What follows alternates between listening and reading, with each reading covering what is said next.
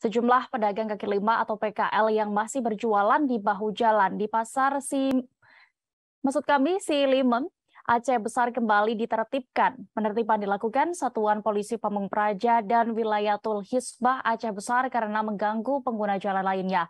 Untuk informasi lebih lengkapnya akan disampaikan reporter Serambi News ada rekan Indra Wijaya di sana. Silakan rekan. Baik, terima kasih rekan Cerda dapat kami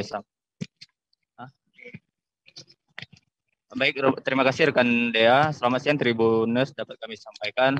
Satuan Polisi Pamong Praja dan Wilayah Hisba Aceh Besar kembali melakukan penertiban terhadap pedagang kaki lima yang berada di kawasan Pasar uh, Selimum, Kabupaten Aceh Besar pada Senin pagi kemarin. Penertiban itu dilakukan dalam rangka penegakan ketertiban dan ketentraman masyarakat yang menggunakan akses fasilitas umum yang berada di bahu jalan di sekitaran pasar tersebut.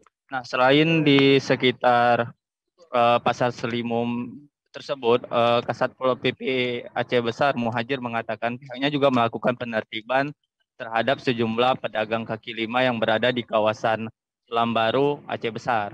Nah, penertiban itu dilakukan bukan semata-mata pihak dari Satpol PP Aceh Besar uh, menghambat bagi para pedagang untuk mencari nafkah. Namun pihaknya mengatakan bahwa uh, dari uh, Pemkap Aceh Besar memang sudah menyediakan tempat-tempat khusus di mana para pedagang itu bisa berjualan, tidak serta-merta setiap bahu jalan yang berada di kawasan baik Pasar Selimum maupun uh, area Bundaran Lambaru dapat diletakkan lapak-lapak pedagang di sana. Demikian rekan dia.